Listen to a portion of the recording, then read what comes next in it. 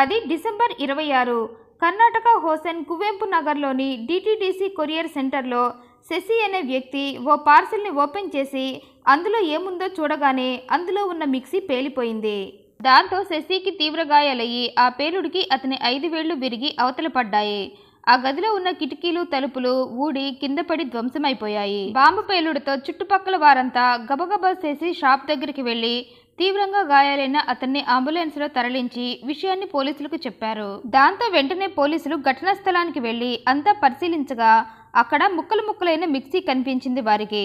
అది చూసిన పోలీసులకు మొదట ఏం అర్థం కాక పలు కోణాల్లో పరిశీలించి చివరికి మిక్సీ పేలుడుగా కన్ఫర్మ్ చేసుకుని అసలు మిక్సీలో బాంబును ఎవరు పెట్టి పంపారు? అసలు ఈ మిక్సీని శశికే పంపారా? లేక ఎవరో పంపిన ఈ మిక్సీని శశి ఓపెన్ చేశాడా? అన్న కోణంలో దర్యాప్తు మొదలుపెట్టి ఆ షాప్లో గత పది రోజుల నుంచి ఏ ఏ పార్సిల్స్ వచ్చాయా అని లిస్ట్ అంతా తీసి చూడగా డిసెంబర్ పదిహేడున వసంత అనే మహిళకు ఓ పార్సిల్ వచ్చిందని అయితే ఆమె ఆ పార్సిల్ తీసుకొని ఈ పార్సిల్ నాది కాదంటూ రిటర్న్ చేసిందని. ఆ లిస్ట్లో ఒక పార్సిల్ దగ్గర రాసి ఉండటంతో పోలీసులు వెంటనే వసంత ఇంటికి వెళ్ళి ఆమెకొచ్చిన పార్సిల్ ఏంటో ఆమె ఎందుకు దాన్ని రిటర్న్ చేసిందో తెలుసుకోవాలని వసంత ఇంటికి వెళ్ళి ఆ విషయంపై ఆమెను ప్రశ్నించారు.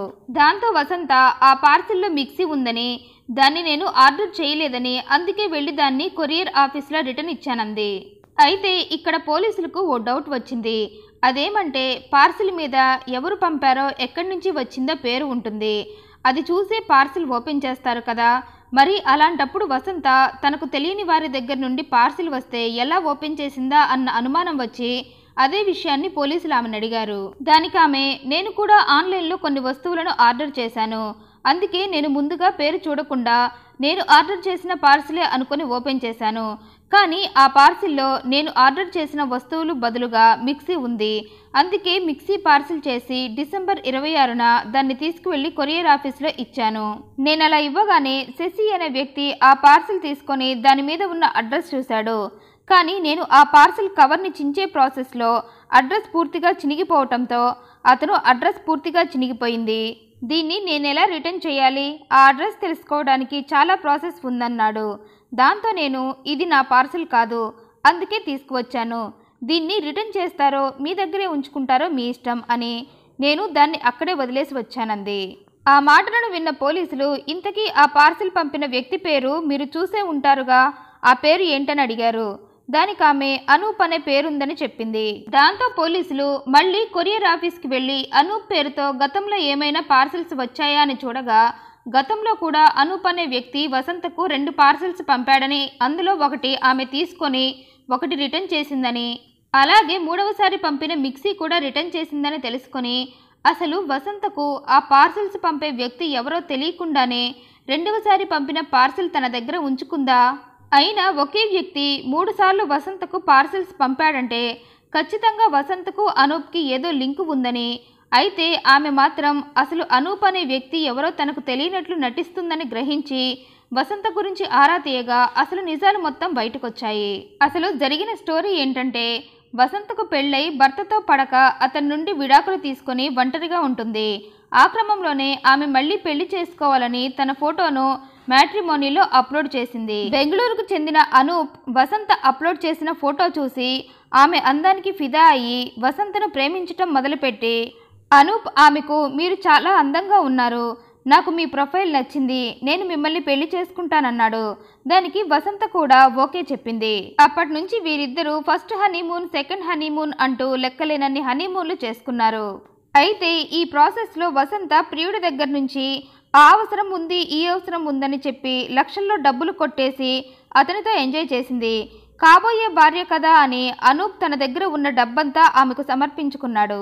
అలా కొంతకాలం గడిచాక ప్రియుడు వసంతతో ఇలా ఇంకా మనం ఎంతకాలం అప్పుడప్పుడు కలుస్తూ ఉంటాం? మనం పెళ్ళి చేసుకుంటే ఎప్పుడూ కలిసే ఉండొచ్చని మనిద్దరం వెంటనే పెళ్ళి చేసుకుందామన్నాడు.